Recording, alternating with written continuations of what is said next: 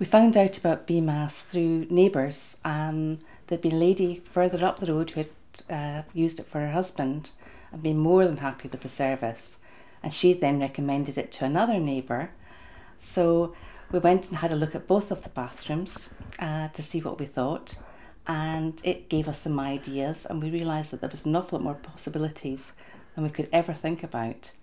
And we also went round uh, different other bathroom shops and had a look and they didn't have nearly the amount of things that uh, were available through BMAS. Bobby from BMAS, when he came down and started chatting to us about it, the possibilities were absolutely endless, and things that had never been suggested or considered um, then became possibilities.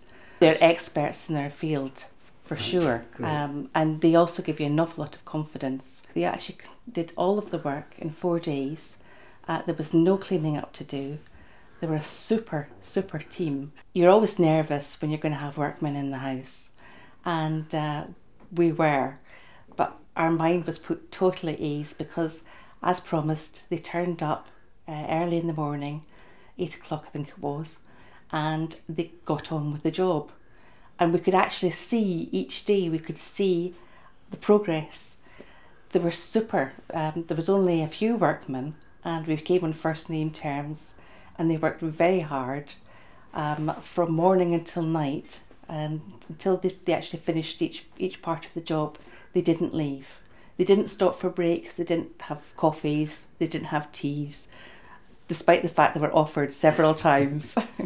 It's given dad an awful lot more confidence. He's much safer so obviously he's more confident and happy to use the bathroom without me having to hang around outside. So it's also given me an awful lot more freedom. You can't really recommend it high enough because I, I will sound insincere.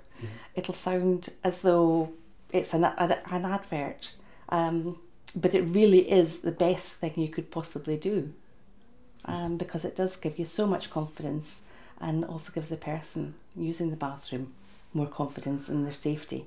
You've got that safety aspect, which is does put your mind at peace. So it's better to go with the expert and go with BMAS because they will actually advise you what's best for you.